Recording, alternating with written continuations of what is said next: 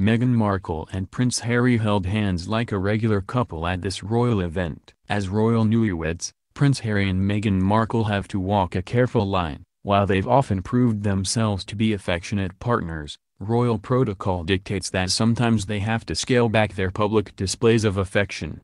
But at a reception this week, the Duke and Duchess of Sussex proved they're still able to find small ways to share their love in public, even if it's in the slightest of gestures. Cameras captured Markle and Prince Harry holding hands as they walked into an event celebrating the Commonwealth Secretariat's Youth Leadership Workshop in London on July 5 at Marlborough House.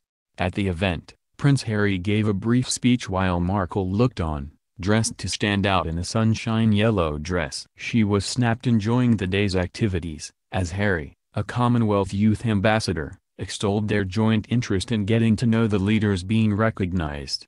So why is holding hands so noteworthy? Hand-holding can be a fraught practice in the world of royal etiquette. While there is no official rule outlawing the clasp, there are situations, depending on the formality of the event, in which it can be perceived as a no-no as former royal butler Grant Harold previously explained to Time. But while Harry's older brother Prince William and Kate Middleton tend to go by the book when it comes to their behavior with each other, Prince Harry has some leeway to go about rewriting the etiquette rules for a younger generation.